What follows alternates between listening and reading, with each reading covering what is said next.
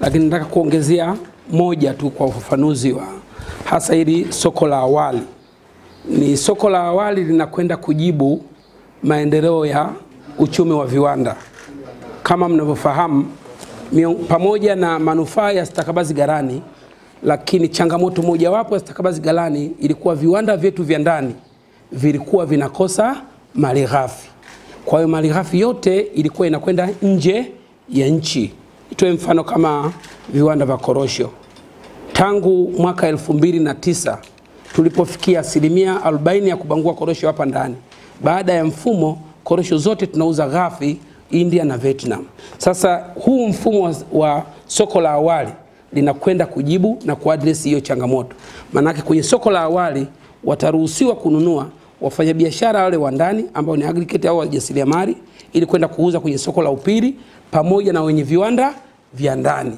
Maana kwa hiyo wenye viwanda vya ndani watakuwa na wasaha wa kupata mali ghafi kwa ajili ya viwanda vyetu vya ndani badala kwenda kushindana kwenye soko la upili kwa ajili ya export. Kwa hiyo soko la upili au stakabadhi kule kwenye auction au TMX litakuwa maalum kwa wafanyabiashara wanaouza mazao hayo nje ya nchi. Sio mtu anataka kwenda kuuza anataka kununua Mtwara kuuza Lindi naye akanunua kwenye stakabazi ghalani tutakuwa hatuwezi kufanya biashara ndani na tutakuwa tunahamisha matatizo mengine au kusababisha gharama za mlaji ziende juu pasipokuwa na sababu ya msingi. Kwa hiyo soko la awali linakuwa ni soko la biashara ya ndani pamoja na wenye viwanda ili ku access raw material.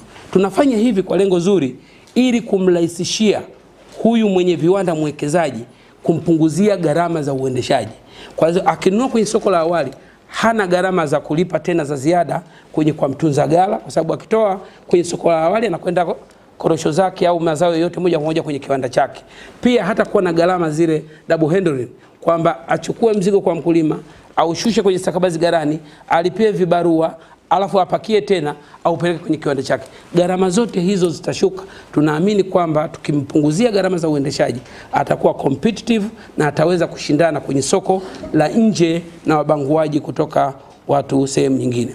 Lakini la mwisho katika swala hilo hilo kwenye, kwenye pale soko la awali tulisema kwamba haturuhusu mnunuzi kwenda moja kwa moja kwa mkulima. Kwa lazima tuweke msisitizo kwamba vituo vya ununuzi itakuwa ni chama cha msingi cha ushirika. Sio kwamba ushirika sio kwa sababu kutakuwa na chama cha msingi.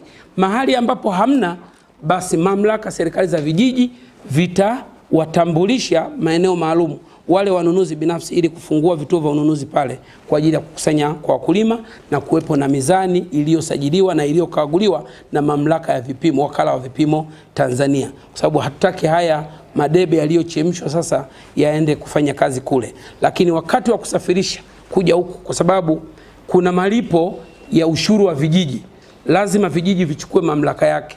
Kila kijiji, wakati mzigo unaposafirishwa, unapokwenda kwenye ghala kuu, ambao labda ghala kuu linaweza kuwa makao makuu ya kata au ya tarafa au ya wilaya, lazima kila kijiji isafirishe mzigo kwa nyaraka zake, ili tuwe na takwimu sahihi, baadaye kurudisha ile asilimia ishirini ya ushuru wa kijiji, ili kila kijiji kije kujue nimepeleka mzigo wangu kiasi gani ghala kuu na ninadai halmashauri ushuru wa kiasi gani. Tukifanya hayo, malalamiko yote yatakwisha.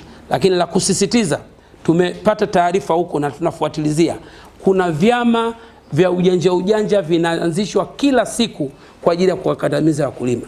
Ndio maana Mheshimiwa Waziri atatoa maelekezo, sio kama hali ambapo hakuna chama cha msingi. Tumetoa mwanya, sema vianzishwe vituo rasmi vya ununuzi ili wakati mamlaka pale wanajiandaa kuandaa mfumo wa vyama vya ushirika kwa msimu ujao, hakuna ulazimu kulazimisha lazima uwe mwaka huu, kwa sababu tunafanya hivyo. Watu wanaanzisha leo, anaweka viongozi anaojua yeye kwa ajili ya kukusanya na kuingiza hewa, hilo halito. La mwisho sio kwa umuhimu, biashara kizuri kinajiuza, kibaya kinajitembeza. Tutumie nafasi hii ni kama fursa, wale viongozi wa vyama vya shirika waende kusimamia mfumo huu kwa uadilifu na uzalendo mkubwa, kwa sababu tayari tumepata malalamiko baadhi ya sehemu, wanunuzi hata mwaka huu ukiona sita sita, kwa sababu mizigo walionunua kwenye minada wakulima wamepeleka mzigo mzuri, lakini viongozi wa vyama vya ushirika baadhi yao wakaweka michanga, wakaweka mawe. Mtu anaenda kununua kwenye, kwenye, kwenye, kwenye, kwenye mnada, badala ya kusafirisha anakwenda kukutana na admixture kubwa sana. Kiasi kwamba wanaona ni bora sasa mfumo ule ambayo mtu analeta mzigo unacheki quality unanunua kutokana na bei ya ubora. Kwa hiyo tunawaelekeza kwamba wakazingatie uadilifu ubora kibora ndio kitauzika kwa bei nzuri. Tunaweza kushusha bei zetu pasipokuwa na sababu ya msingi